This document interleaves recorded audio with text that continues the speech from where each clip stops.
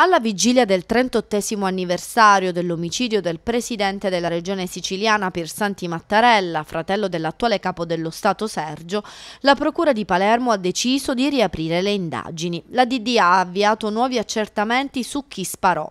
Si ripartirà da una targa, come riporta il giornale di Sicilia, riaprendo la pista nera già seguita da Giovanni Falcone, che portò a giudizio Giusva Fioravanti, che fu però assolto da una corte d'assise. Il killer sparò con una pistola a Piersanti Mattarella e poi fuggì salendo su una Fiat 127 dove l'aspettava un complice, anche lui rimasto senza nome. La pista neofascista, a partire dal ritrovamento nel 1982 di spezzoni di targhe in un covo dell'estrema destra a Torino, fu ipotizzata già nel 1989 dal giudice Loris D'Ambrosio in un report finito adesso alla Procura Generale di Bologna, che ha avvocato a sé l'inchiesta sulla strage della stazione del 2 agosto 1980. 1980. I familiari delle vittime ritengono ci siano elementi di prova che collegano come mandanti del delitto Mattarella e della strage di Bologna l'AP2 e spezzoni deviati dei servizi. I magistrati stanno adesso approfondendo informazioni che erano state in un primo momento sottovalutate o addirittura scartate.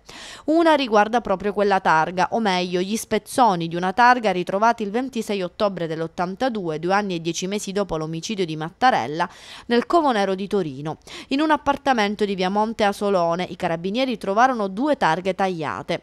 Un primo spezzone aveva la sigla PA come Palermo, il secondo la sigla PA 563091. Sono gli stessi numeri, ma composti diversamente, rimasti agli assassini di Piersanti Mattarella che avevano utilizzato due targhe rubate per camuffare la Fiat 127 del delitto.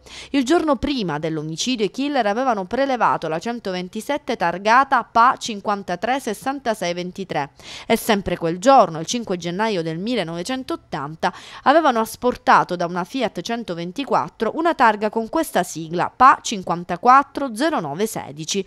Poi avevano costruito una nuova targa con i numeri delle altre due PA 546623, rimasta attaccata alla Fiat 127 abbandonata dopo il delitto.